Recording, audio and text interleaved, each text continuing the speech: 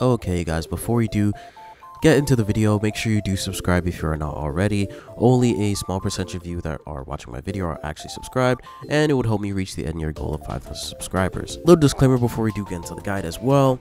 Anyway you have your build or any way you do your build is fine. I'm just making this guide for people who are new to Gran Sudaruska or people who are getting back into Gran Sudaruska and want to know the basics.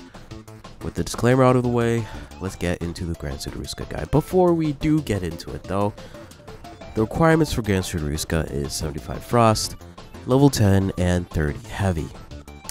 Its passive is after landing 3 M1s on an enemy, it makes ice crystals rain from the sky.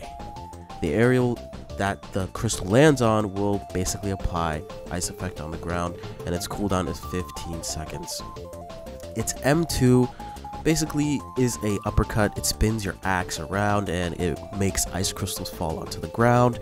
And anyone within the vicinity or anyone who gets hit basically gets put into an uppercut combo. Certain talents that are good on this, I would say I would recommend that you go crystal because of the crystals that can burst within the opponents when uh, fully stacked or hit with an ice ability. Make sure you do also get all of the Great Axe talents. Maybe go Battle Axe when you're going into the Trial 1 instead of Avenger because you're going to need all of the damage you can get. By the way, do not go contractor if you are trying to go Gran Sudaruska because you will not be able to equip it. And potential builds you could go on the Gran Sudaruska.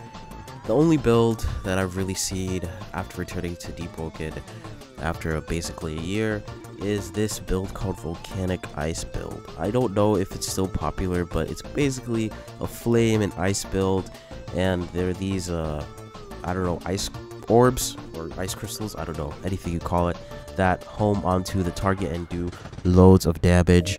That is perfect for PvE and sometimes PvP. The weapons M2 is what you want to utilize when attacking somebody because it basically is a free block break if it's blocked or it is a free way to get your crystals to basically explode onto somebody. But at the end of the day, it comes down to what's comfortable for your playstyle, what you want your build to be or how you use it. So make sure, like I say in all of the other guides, to play around with the build and see what you like. If you like hybrid, if you like glass path crystallization, or if you just like the regular frost freeze that would apply slow to anybody.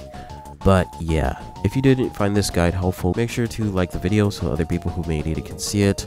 Comment down below if you have a Gran Sudaruska or if you are planning on making a build. And subscribe so that you can help me reach my end year goal of 5,000 subscribers. And most importantly, make sure to have a great day guys and see you guys within the next video.